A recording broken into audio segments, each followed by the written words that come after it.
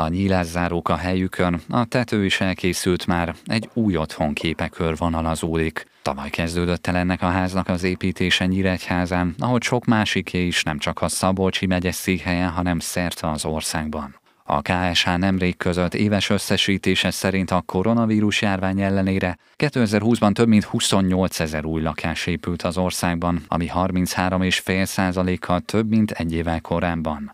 Az átadott lakások száma utoljára több mint egy évtizede 2009-ben volt magasabb.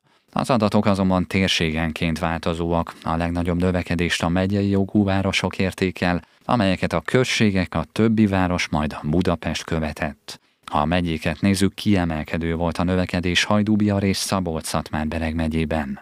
Ezt az általunk megkérdezett nyíregyházi kivitelező is érzékelte, sok megrendelése volt, idén azonban tapasztalatai szerint visszaesett az új lakások iránti kereslet.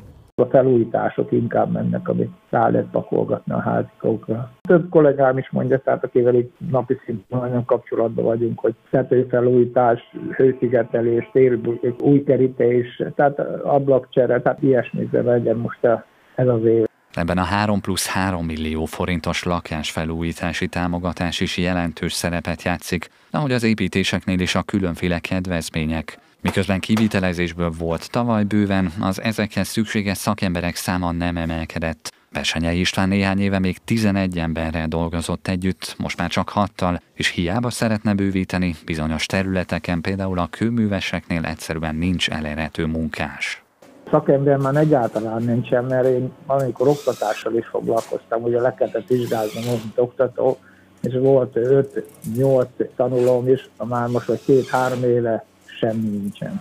Egyáltalán nincs utánpótlás, tehát nem tudom, hogy mi lesz az építőiparra. Hát meg a másik az, hogy uh, itt mit, mit tudom én keres 15 csak mondok egy számot, Pesten 21-et keres, tehát kettő közt azért van egy kis különbség. A kivitelező a főváros elszívó hatásában látja a probléma fő okát, nálunk ugyanis nem tudnak annyit fizetni a munkásoknak, mint Budapesten. Tavaly egyébként hiába épült több ház az országban a kiadott építési engedélyek és egyszerű bejelentések alapján építendő lakások száma mintegy 36%-kal visszaesett 2019-hez képest.